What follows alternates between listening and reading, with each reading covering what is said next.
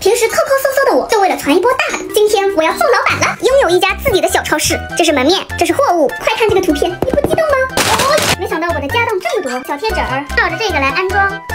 为啥还是逃脱不了做手工的命运呢？有点可爱哦。购物篮的哥哥，购物车，这个板还是可伸缩的。货架一枚，货架两枚，组合使用更加香。